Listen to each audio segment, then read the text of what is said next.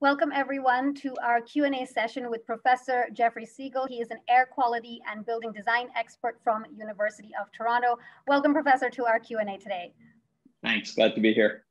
Absolutely. My name is Dilshad Burman. I am a writer and reporter with City and 680 News, and I will be moderating this chat today. Now, today we're talking about air quality and building safety because kids are heading back to school in September, and there have been a lot of concerns regarding the air quality in schools and how safe they are and how the buildings are designed um, to be safe in a COVID-19 world. Um, so the way this works is we have been collecting your questions over the past week for the professor. He's never heard them before. It's all off the cuff and he's gonna provide his expertise and answer them. If you haven't had a chance to submit your questions, you can still do so in the comments under this live broadcast. And we're gonna try and, try and take as many questions as we can in this short half hour period that we have with the professor. So professor, are you ready to go? We're gonna start with a cache of questions that I have for you. Ready to go, let's do it. So let's start with uh, one of the basics, and this is more of a comment than a question, but it'll give us a great jumping off point. Farhad asks, now all of a sudden air quality is an issue. We survived in those schools back in the day, no issue. So why is air quality and ventilation so important to talk about right now when it comes to COVID-19 in schools? Okay, so ventilation has always been really important to talk about. And one of the big reasons why um, we haven't talked about it is because a lot of the health effects we see from ventilation are things that happen a long time after exposure, right? And so we get exposed to all kinds of things in buildings, and that increases our risk of cardiovascular disease, of lung cancer, of a whole variety of, of things, but it happens much later in time. And so with COVID 19, obviously, there's not that delay. So that's why we care about it now, but I would argue that we always should have cared about it. Right, absolutely. Um, okay, and then uh, next up, we have a question from Abu. Abu asks, does Ontario consider ASHRAE 62 standards enforceable in schools? Are there any enforceable standards for indoor air quality, including ventilation and filtration in schools? Fantastic question. And uh, the, the short answer is the way most ventilation codes are applied are at the time of construction.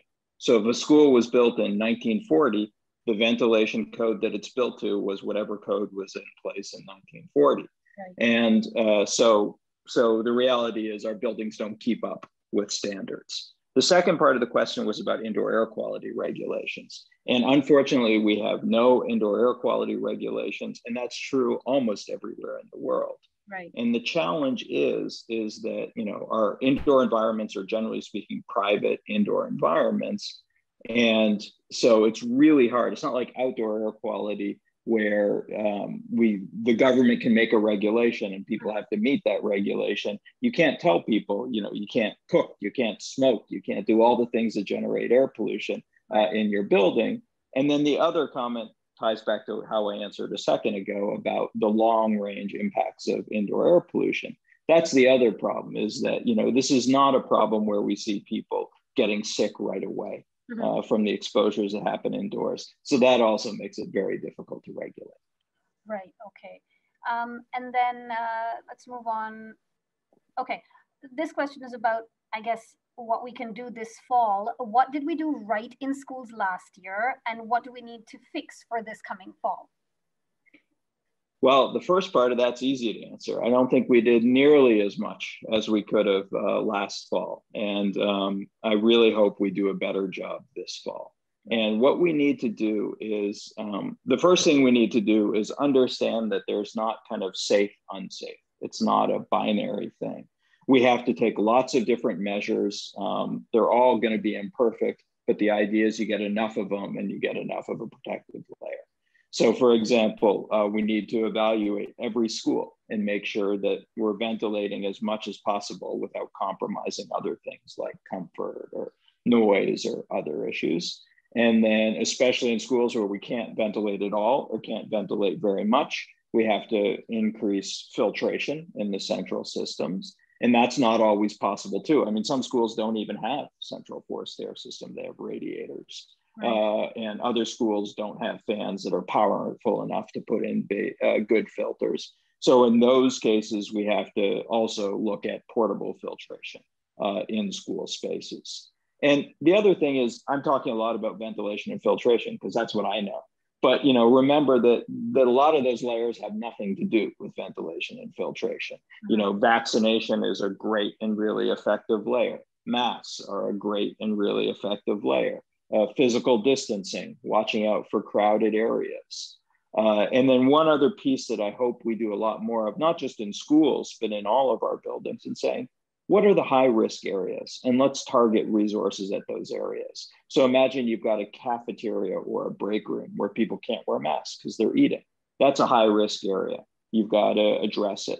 Let's say you've got an intensive support classroom where you have, you know, uh, the staff working very close proximity uh, to their students, and so you can't do physical distancing. Masks can be tough in some some student populations, so you've got to treat that as a high risk environment and treat it appropriately.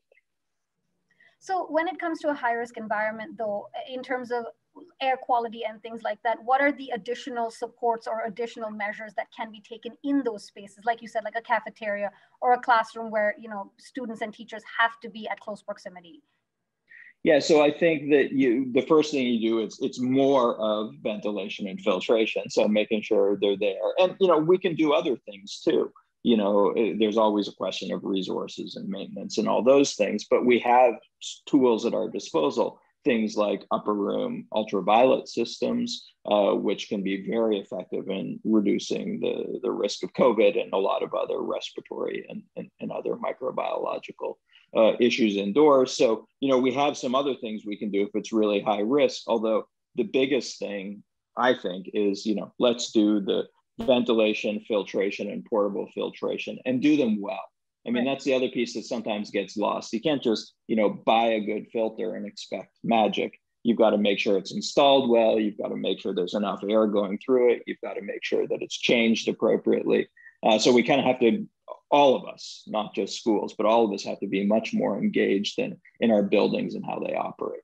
Right, and stay on top of things like you said. I mean, even filters need changing. Even something like a humidifier, you have to clean it and and you know change the filter often enough. So for sure, something to absolutely. Right. Um, okay, let's move on to our next question.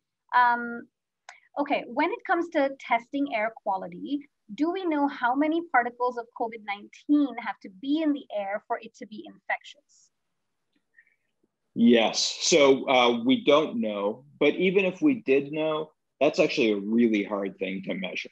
Hmm. Really, really hard because not only uh, does it matter, you know, whether there's COVID in the air, but it matters whether it's able to convey infection, and then it matters what size particle it's in too a big particle is going to behave differently from a small particle and end up in a different place in our respiratory system. Mm-hmm. Not to mention, you know, there's wide individual variation in how susceptible we are to the disease. Right. And then we're seeing, you know, some of the variants, maybe they certainly spread more easily. And maybe that's related to, to some of the details about how they're produced as well.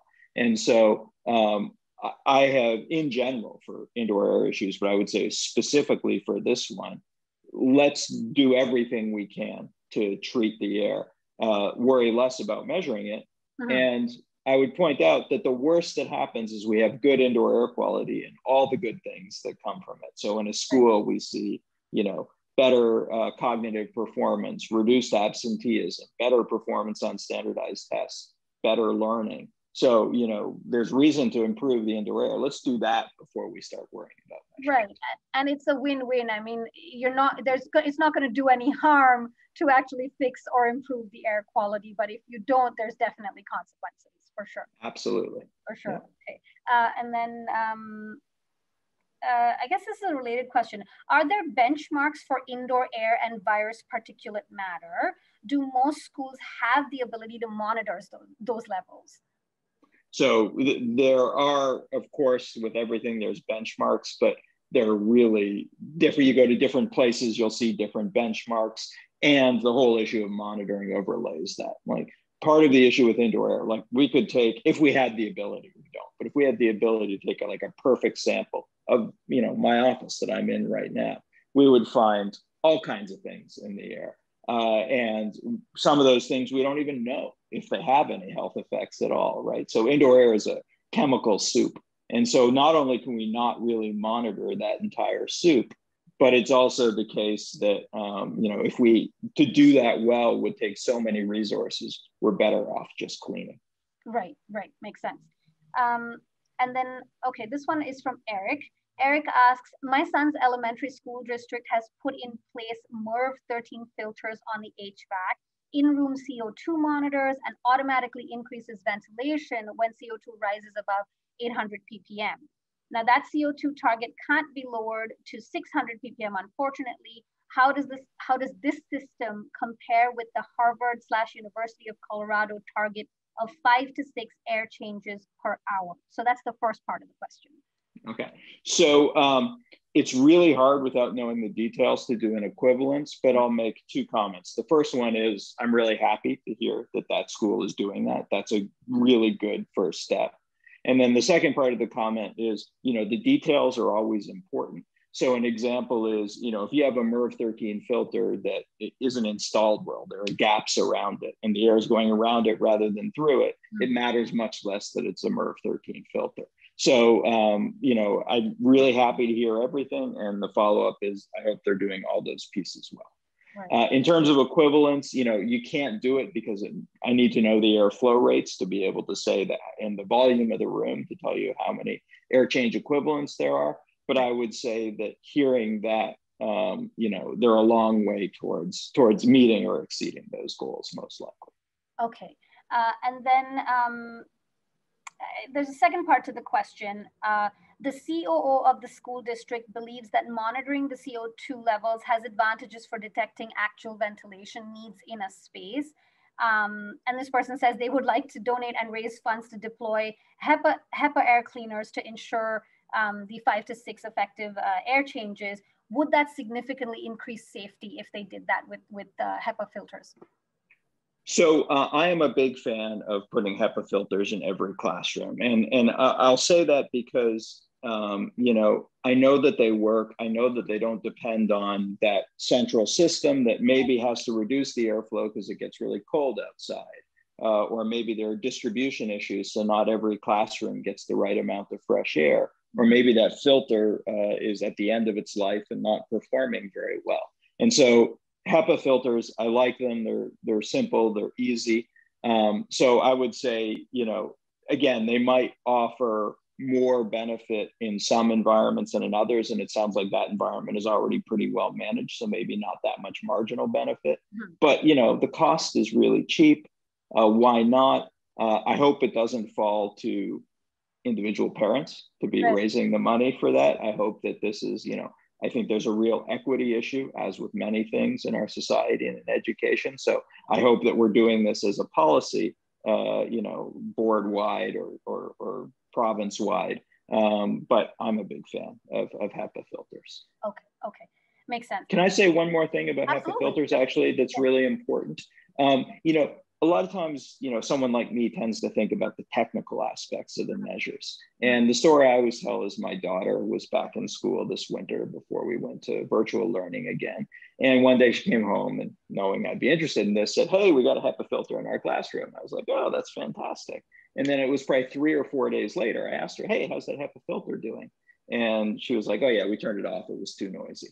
Uh, and so um, that's the other piece about HEPA filters is that, you know, they are noisy, especially if they're moving air. And so there's a really good opportunity for teacher, for staff education here about, you know, maybe the right solution is to get two filters and run them on a relatively low speed so mm. they make less noise mm. or to you know let the teacher and and the others in the class know how they work and so you know, if they've got their masks off and eating lunch, turn those things up to hot. Yes, they're noisy, uh, but you know, you need the extra protection. And if the teacher is doing something that requires the students to listen, then you know, turn them down and understand that maybe you're relying on the other measures more. And right. so be a lot more careful about masks and physical distancing when those HEPA filters are turned down.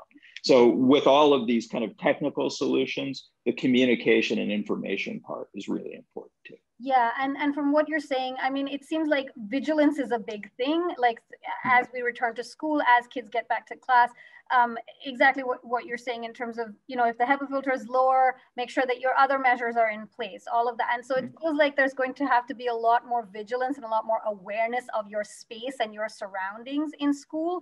Um, and I do not envy kids going back to school in this um, in this environment but i think kids you know we talk about this all the time kids are resilient it's they will adjust and hopefully um, it'll become another way of life. Like we've always talked about the new normal right? And so hopefully it'll become a way of life and something that everybody gets used to within a classroom. Right and remember let's not just focus on the negative consequences yeah. and the costs there's also the benefits too. Those students you know think about you know, when a student has to be absent because they're sick, think about, you know, the parents have to stay home. That causes all kinds of disruptions, especially for some families more than others. You know, other kids in the family are susceptible to getting that same respiratory virus, be it COVID 19 or otherwise. You know, you have all these kind of cascading issues. And so, by by expending the resources and paying the attention and paying the mental you know expending the mental bandwidth on this we really do get benefits. Sure. and the whole challenge is we haven't really valued those benefits before. And so now i'm saying let's value those benefits. And it's worth it. Yes there are challenges but you know we can overcome those challenges. Right. Absolutely. Um, okay. We'll go back to the submitted questions here. Um, Okay, Ontario says that it has invested millions of dollars in remediating HVAC systems at schools. What does remediating HVAC systems actually mean and how does that improve the air quality within a school? Okay, so remediation means a lot of different things, but let's let's take the most optimistic view. Remediating an HVAC system remember that no one cares about HVAC systems. Two years ago, you know, I couldn't get parents to care at all about the HVAC system in their school.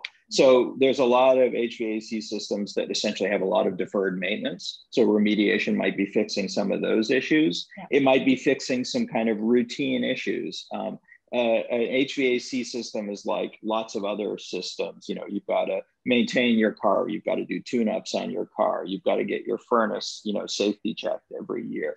That's the exact same. So some of it is just, you know, maybe we're calling it remediation, but it's just doing those basic upkeep things, making sure airflows are what they are, controls are working the way they are things kind of have a basic level of hygiene and cleanliness, you know, those types of things. Mm-hmm. And then in other cases, remediation means, well, you know, this system was designed for the school before we did, you know, three different additions to it. And, you know, we had to take out the boiler because of an asbestos issue. So we put in this different boiler and, you know, all these other things have happened over time. And maybe the system isn't performing the way it should uh, or the way we'd like it to. So remediation might mean improving that. Right. The comment I would make is that HVAC systems are A, expensive, and B, uh, they're kind of integral to the building. In a school, you can't, you know, in the middle of a school day, go and remediate the HVAC system. It really, you know, requires shutting down the building. Often there are, depending on the age of the school, asbestos and other issues that have to be remediated. So, you know, I think that, you know, we might have this vision that, you know, all of our schools are going to have gleaming, beautiful HVAC systems, and that's not right. Uh, you know, we should do as much as we can with the systems we have. We should certainly allocate resources to, to put in better systems. We'll get the benefits, as I've already talked about from that. Uh, and I think we also have to look at measures like portable filters that, you know, don't rely on that system. Right. Um, okay, and then another question here from Holly. Um, you just mentioned portable air filters actually. So Holly says, is a portable air filter machine per classroom going to provide protection for staff and students? Are these not designed for home use? Our classrooms have 25 people in them. Um, and as well, how often should those filters be cleaned? Uh, and if they're not, does that contribute to poorer air quality? Yeah, great questions. And, uh, you know, uh, the right answer is it depends, but let me give a better answer than that. Mm-hmm. Um, the short answer is, you know, there, I wouldn't necessarily advocate taking a, uh, a unit that's designed for a small room, uh, a small bedroom, and bring it into a classroom. You know, you have to do some sizing calculations to make sure it's sized appropriately. And then there's another issue, you know, things in schools get um, used quite heavily. So you want to make sure it's something relatively robust that can take the the the uh, you know the the not the abuse but the the stresses that are put on it.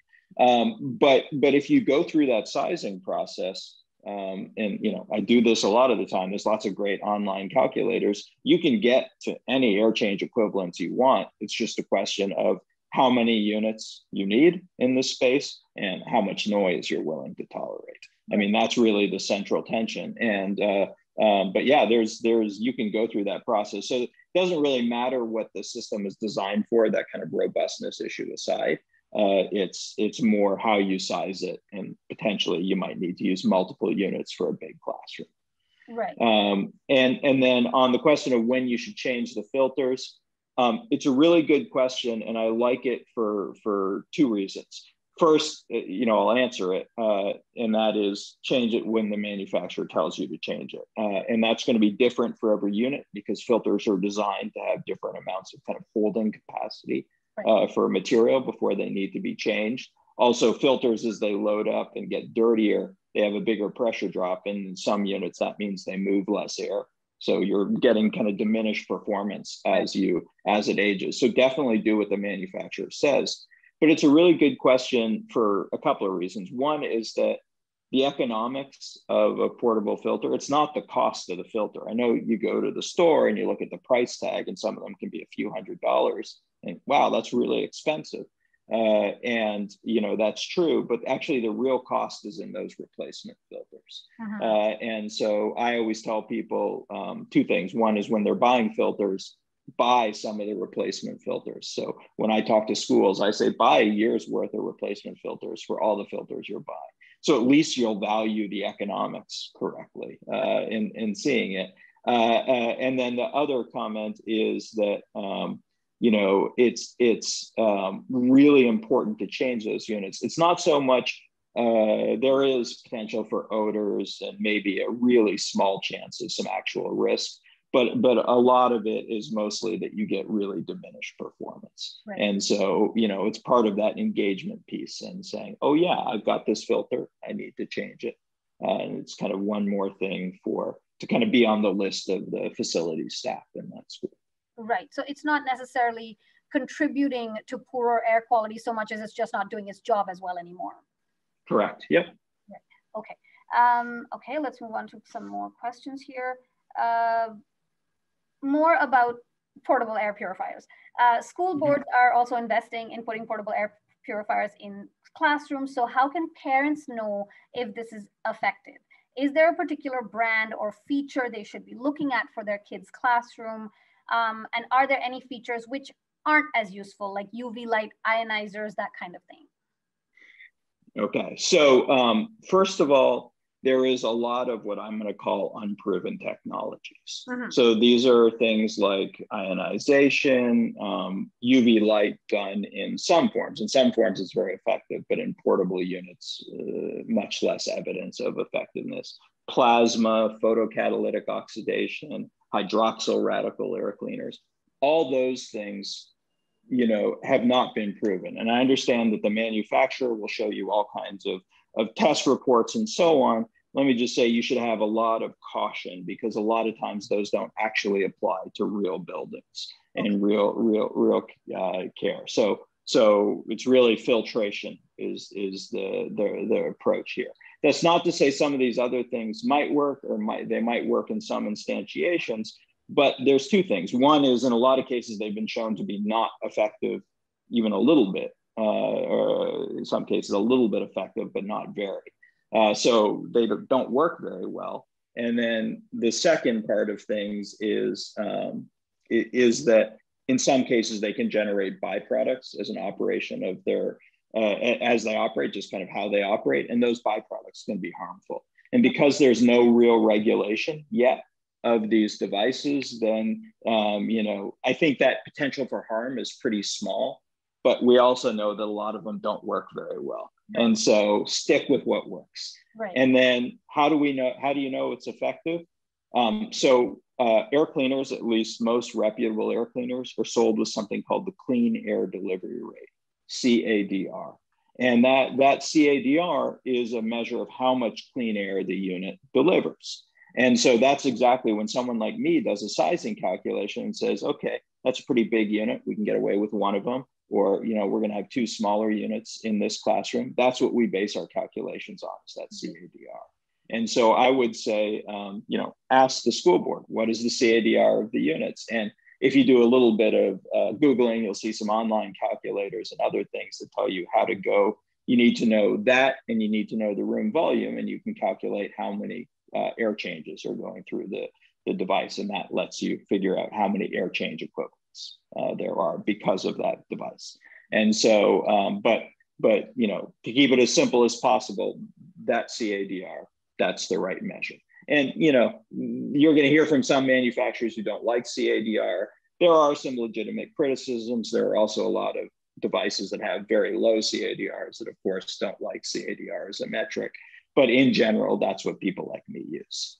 Okay, and then uh, just going back to you know the different bells and whistles in a in a mm-hmm. particular uh, portable air filter.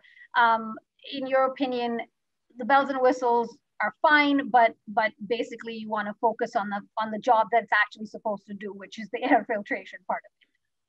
Absolutely, and and I would say further that you know be really careful about some of those because the you know the ionization or or or some of those other technologies I mentioned can generate harmful stuff. I'm not saying it always does. It might be a little dependent on the air that's coming in. Uh, it might not be enough harmful stuff to cause issues. So I'm not. I don't think we should you know you know be scared of it i'm just saying that that stay away from it because i want something that's effective first and i also want to be sure i'm not causing problems even if it's a rare chance of problems. right right absolutely and especially when it comes to something like schools it's not just you're not just talking about you and your family it's a it's a whole bunch of people in a smaller space so you definitely want to avoid those issues um, okay uh, okay, this is a good one. Since we've been talking so much about air quality, should we be focusing so much on air quality as an indicator of school safety? And what other factors should we be considering? Yeah, so, um, you know, I, I'm someone who studies indoor air quality. So, of course, I think indoor air quality is very important.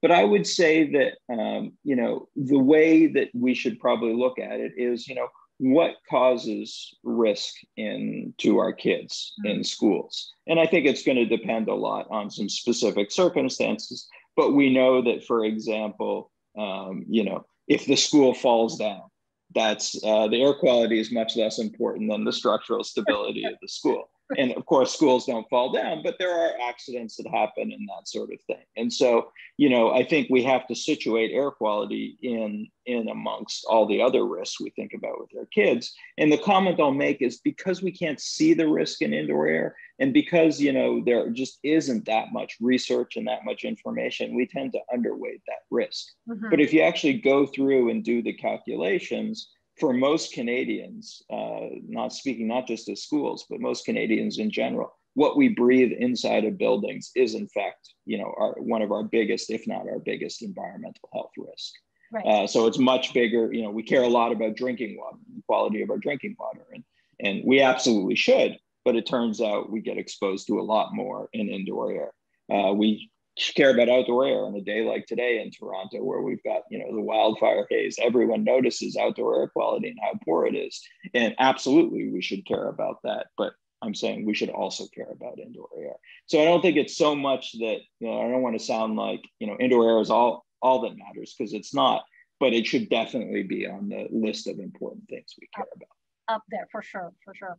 Um, okay, uh, let's take this one looking back at last year, there seems to be different perceptions of how safe schools were in terms of being places where COVID 19 can be transmitted. So, on one hand, the medical officer of health and the government were saying that they were safe places, but then we saw community spread happen in schools. Um, and then on the other hand, there was the perception that you know schools have actually caused community spread.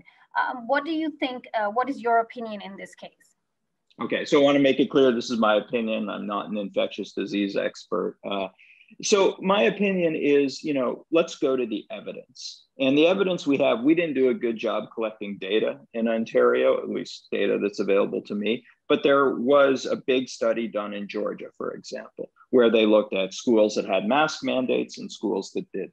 and schools that upgraded their ventilation and schools that didn't. And it's overwhelming evidence. They saw 40% fewer cases uh, in schools that either had a mask mandate or upgraded ventilation. Right. That went to about a 50% or so reduction in cases uh, when they upgraded both ventilation and filtration. And we don't have a lot of details about how much they did those things. Hmm. But to me, that's the best clear evidence in schools that doing something makes a difference. So, how important is overall community transmission? I'm going to punt on that question a little bit because it's not my area of expertise. But I, I would just say that, like, there's nothing magic about the boundary of a school, right? right? There are, there's, there's, you know, even if, you know, kids are less important and there's kind of mixed evidence on that uh, in terms of transmission. There's a lot of adults, there's a lot of other uh, interactions between the community that happen in schools. Mm-hmm. So, um, you know, I think there are, there is reasonable debate there, but what there shouldn't be debate about at this point is we can do stuff to reduce the transmission in schools. Absolutely, absolutely. And I think you hit on a really important point there that there is no magical boundary when it comes to schools. And that's something that we've seen so much as we've been doing these q and a's over the past year as well people commenting saying what is the difference? Why is school different from an office building different from you know a retail store? Like how is that different? Because covid-19 doesn't know that it's a school or it's an office building or it's a retail store. So that's been something that we've heard a lot of frustration from people. Uh, and i think and i think you're right it's exactly that that we can we can at least do what we can right? Do the best that we can in terms of making schools safer um, and so, uh, Professor, when it comes to making schools safer, uh, in, in your ex expertise and in your experience that you've had over this past year, have you seen people sort of taking those big steps to make those big changes when it comes to whether it's a school, whether it's even other indoor spaces, office buildings, things like that? Has there been a sort of a shift in mindset when it comes to uh, air filtration, purification, that kind of thing within indoor settings? So yes, I think there has been a shift, and you know what I'm not sure about is is this a permanent shift or is this just a shift as long as uh, you know kind of COVID is in the news? Mm. And and um, you know I really hope this is a permanent shift, not just because it's what I do for a living, but also because you know I think that you know there is so much benefit. Like I think about you know respiratory disease. You know when I lecture in the winter, there's classes of over hundred students you know and so when we're in the classroom as we anticipate being this coming year you know there that's a lot of exposure. I have you know colds and and you know respiratory stuff you know several times in a typical yeah. winter. And maybe that's coming from my daughter at school. Maybe that's coming from you know the classroom. Maybe you know i touch my face too much. There's probably a whole lot of things that, that that's causing that. But the point is if we take these measures you know, then we we we have these benefits beyond COVID. So I sure hope. I mean, there's been I've had more conversations about ventilation and filtration in the past 18 months than in the you know 20 years of my career. But but so there's clearly more interest. But I hope that that's sustained kind of meaningful interest. Right. Absolutely. Um, and then we have a few minutes here, to, uh, Professor. If you don't mind, I'll just take these last two questions that we have. Um, okay we often focus on measures inside the actual classroom, but what do we need to think about when it comes to gym class, recess, hallways, uh, and getting to or from school?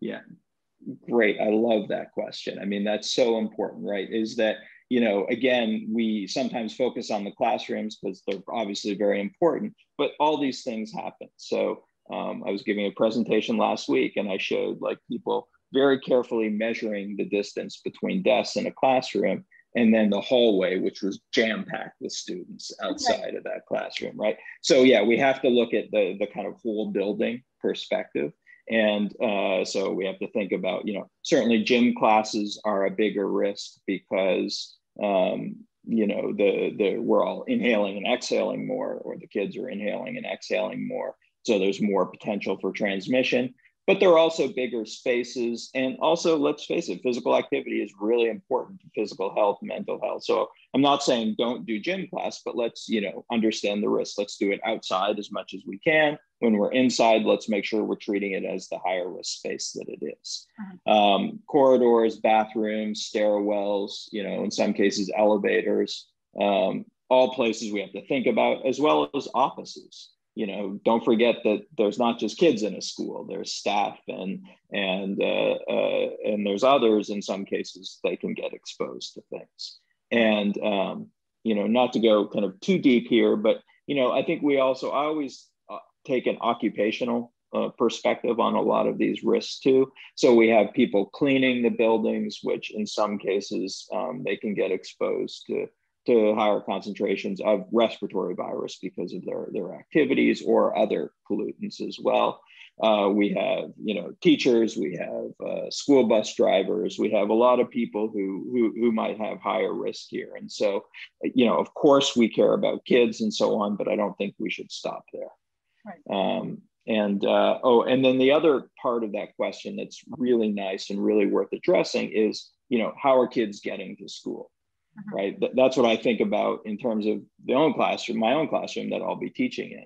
You know, you might have students, you know, coming to the university from all kinds of public transportation, some of them on regional public transportation that's maybe got a more limited schedule. So they're sitting in a coffee shop waiting for two hours for their for their go train or you know all these other issues and so again you know it comes down to two things one is taking as big picture view as we can and reducing the risk wherever we can. And that's why this kind of multi-layered approach is so important. Uh-huh. And two is, you know, there's this huge public education piece. You know, people like me, um, you know, I can talk forever about about the issues, but we need the people who are really good at risk communication, really good at giving people, you know, practical advice that will actually change behavior. Yeah. Um, and that's what I hope we see uh, going forward. And again, it's not just COVID. You know, we've got, um, unfortunately, you know, we might have a very serious flu season this coming year. We've got ordinary respiratory viruses, plus we've got all the other stuff in indoor air. Right. And so, you know, it's nothing to be, I don't want anyone to be, you know, kind of paralyzed by it, but we certainly have to address it. Right. And I mean, I think fear is paralyzing. Fear is one of those things that, you know, you can't always move. You can't always make the decisions you need to make. So the idea is to, like you said, to to do the things that we know work, whether it's filtration, whether it's, you know, remediating the HVAC systems, all of that, um, to reduce that fear and to sort of try and make spaces, especially schools, feel safer so that we can, you know, go about our business and hopefully uh, go into the new normal, so to speak. Right. And let's collect data about these things and how well they work too. That's, I think, another huge missed opportunity from last year. Right. Is, you know, we did stuff sometimes, but we don't know if it worked other than kind of anecdotally. I mean, let's do it properly. Let's do these measures. Let's track incidents of respiratory virus and so on. It's not so hard to do. And, hmm. you know, the places in the world that do that kind of data tracking, I know it feels invasive and i think it has to be done well and it has to be done you know fairly and transparently. But i think we learn a lot by doing that. And so we can you know have even better measures next year than we do this year. Right. Absolutely. Yeah it's a learning pro- process. And i think the learning curve for this kind of thing is huge given that we've never seen covid before and it's been with us now for a year and that's all we know right? So right. definitely yeah. as we learn more we, we do better right um, okay, and then I'll take this last question. I know we're over time, but it's just the last one. Um, so thinking long term and knowing that many Toronto schools don't have modern ventilation systems or even windows that open properly, what should school boards and architects be considering when we think of pandemic proofing schools for the future?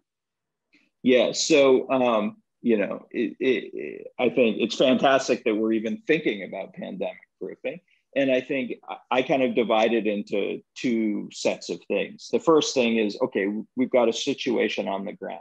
We've got to deal with it. So if that means, you know, some schools get more portable filters than other schools, that's just the way it has to be to address risk. Let's target the resources at the risk and let's keep those equity issues in mind. Uh, uh, and, and, you know, let's do those short-term things, you know, tuning up the HVAC system, getting portable filters, uh, making sure there's really good education and mask mandates, all those kinds of things that we can do right now, you know. And then, you know, longer term, I think we have as a society have to make a decision here. Clearly, I think this is something that's really worth investing in. And I think uh, hopefully I'll convince other people of that. But I think that if this is something that we believe is important, and I hope we do, then, you know, we have to start including this. Right now, that HVAC system in the school is designed for comfort, and um, maybe for energy use. Right. And, you know, those things are very important, but so is air quality. And so maybe, you know, that starts becoming part of design practice. And, you know, lots of people will tell you it already is part of design practice, and that is true to a certain extent, but it's certainly not, you know, kind of widespread. And right. so we have to kind of normalize that process of thinking about indoor air quality when we design these buildings. Right. And again, you know, just one last point that I think is so important is we always look at the cost when we do something like that. And it's going to be a big number if we do it well. Uh, you know, uh, we're talking billions of dollars for the province of Ontario to really do schools, you know, renovate and make new schools. Uh, maybe pandemic proof is a little strong, but make them healthier indoor right. environments. Right. But you know, let's not just look at that cost. Let's look at the benefits. You know, and and all those benefits I talked about the the learning, the the health outcomes, the the um, acute health stuff like like asthma and respiratory disease. All that gets a lot better. So let's properly value it so that we make that investment. Absolutely. And on that note, Professor, thank you so much for joining us today and taking the time to answer all these questions for us. If we weren't able to get to any of your questions uh, this week, I do apologize. Maybe we'll have the professor back with us next next time, maybe closer to September uh, when when schools are sort of opening up. Uh, but for now, we'll we'll uh, call this a, a win and we'll we'll close this out. Thank you so much, Professor, for joining us. Thanks for having me. Okay. Bye-bye. Bye.